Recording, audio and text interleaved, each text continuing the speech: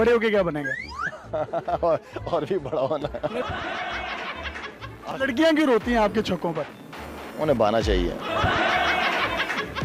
आप कहते थे कि मुझे इतना शौक था क्रिकेट का कि मैं रात को किट पहन के सो जाता था पता नहीं वो सुबह मुझे खिलाएँगे या नहीं या पता नहीं मैं लेट ना हो जाऊँ तो इसकी क्या वजह थी? आप भी कपड़े पहन के सोते हैं। कि मैं सुबह लेट ना हो जाऊँ मैच के लिए तो इतना पैशनेट होना पड़ता है। आप मुझे बताइएगा हम ज़्यादा टाइम नहीं आपका लेंगे क्योंकि आप जब क्रिकेट खेलते थे तो उस बैटिंग में आप खुद भी ज़्यादा टाइम नहीं लेते थे। तो उसकी वजह क्या थी?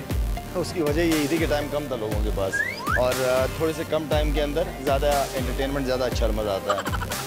अच्छा लाला मुझे आप ये बताइएगा कि आप कहते थे कि मुझे इतना शौक था क्रिकेट का कि मैं रात को किट पहन के सो जाता था, पता नहीं वो सुबह मुझे खिलाएँगे या नहीं, या पता नहीं मैं लेट ना हो जाऊँ तो इसकी क्या वजह थी? आप भी कपड़े पहन के सोते हैं। यार जब कोई भी नई चीज़ आप शुरू करते हो, उसके लिए आपको जिस तरह मैंने कहा कि अपने ख्वाबों को अचीव करने के लिए आपको बड़ा पैशनेट होना पड़ता है। जब हम यंग शुरू थे, हमें पता होता था, कप्तान था इवन कि मैं अंडर 14 का कप्तान होता था टीम का, लेकिन मैं किट पहन के सोया करता था, क्योंकि ताकि मैं सुबह लेट ना हो जाऊँ मैच के लिए तो इतना पैशनेट होना पड़ता है।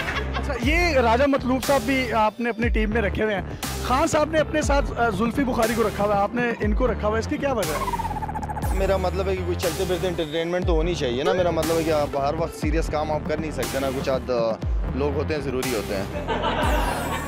अच्छा आप प्रीति साहब जब आप आते थे स्टेडियम में तो हर तरफ़ हल्ला गुल्ला होता था। क्रिकेट आपको मिस करेगी हमेशा। नाम लिखा जाएगा आपका।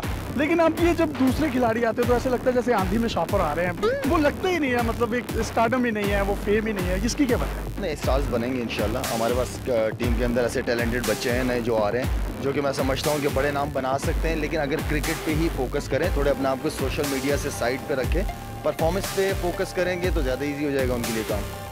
आखिर में आपसे एक सवाल करूँगा। आपने उसका जवाब देना बड़ा मजेगा बड़े होके क्या बनेगा? और, और भी बड़ा होना। बताए ना।